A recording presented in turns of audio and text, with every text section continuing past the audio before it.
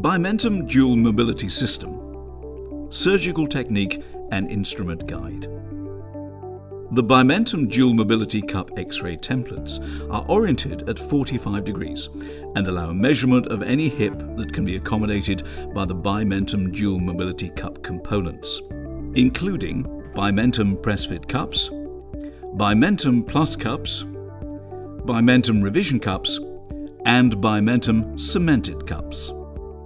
Using the AP radiograph, Position the template 40 to 45 degrees to the interteardrop or interischial line so that the inferomedial aspect of the cup abuts the teardrop and the superior lateral cup is not excessively uncovered. Two Bimentum press-fit trays for the majority of Bimentum press-fit cases. Initially, employ a reamer at least 2 mm smaller than the diameter of the femoral head ream medially to find the acetabular floor. Subsequent reaming should proceed in 2mm increments with the reamer oriented at an inclination of 45 degrees. It is important to orient the acetabular reamers in the same way as the implant is intended to be positioned. Continue to ream until good peripheral support is achieved.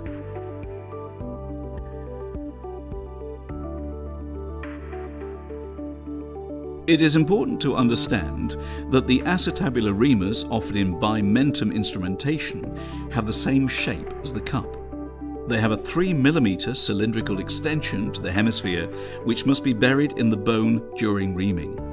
Using acetabular reamers other than those provided in the bimentum instrument set is not recommended to avoid any risk of imperfect preparation of the acetabulum and incomplete implantation of the final cup. The Bimentum cup impactor has a curvature to accommodate the anterior hip approaches and MIS approaches. It is used to hold the trial implant and to orientate and impact the definitive implant. An optional inclination guide indicates the vertical axis or 45 degree angle compared to the cup. Unlocked position for placing the size-specific Bimentum cup holder adapter. Neutral position holds the size-specific Bimentum cup holder adapter in place. Locked position securely grips the trial cup and final implant for insertion to the acetabulum. Cup holder adapter. Notch designed to be positioned next to the mark on the edge of the Bimentum cup. Windows provide visualization of the level of the cup trial and or the definitive implant in the acetabulum.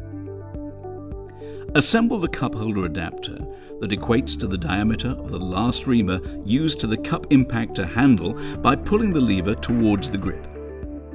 Releasing the lever will allow it to return to the neutral position, holding the cup holder adapter in place. Cup trial. External peripheral groove represents the start of the 3mm cylindrical extension to the hemisphere. The notch shows the position of the flange for the Bimentum Plus cup. When assembling to the cup impactor, it must be positioned in front of the notch on the cup holder adapter. Two holes indicate the position of the pegs for the Bimentum Plus and Revision cups. The lower opening provides visualization of the acetabular notch position. Two upper engraving lines indicate the location of the flanges of the Bimentum Revision cup. Lower engraving line marks the location of the hook of the Bimentum revision cup. With the lever in the neutral position, place the cup trial on the cup holder adapter. Lock the trial in place by moving the handle to the locked position. Impact the trial cup into the acetabulum, taking note of the pre-operatively planned inclination and anteversion.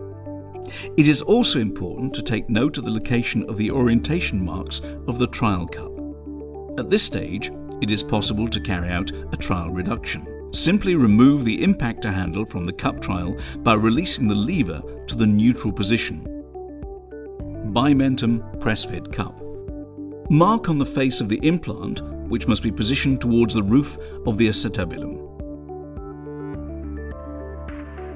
With the lever in the neutral position, place the cup onto the cup holder. Secure the cup in place by moving the handle to the locked position. The inclination of the cup should be set to approximately 45 degrees and anteversion between 15 degrees and 20 degrees. Confirm inclination and anteversion before proceeding with the impaction of the cup.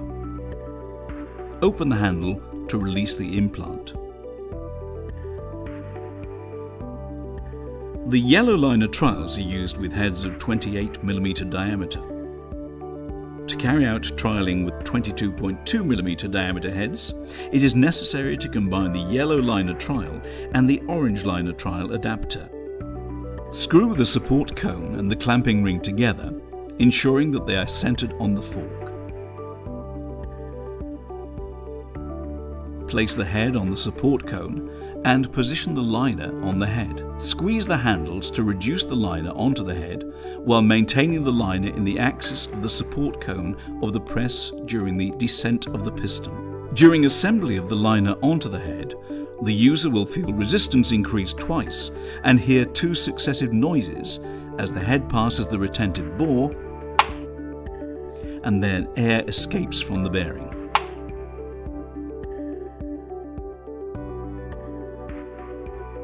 Correct assembly is confirmed when the head rotates freely within the liner.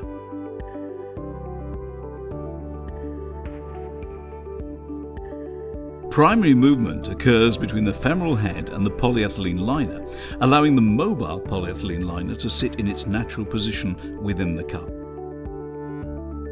Secondary movement occurs between the polyethylene liner and the cup when the femoral neck contacts the polyethylene liner.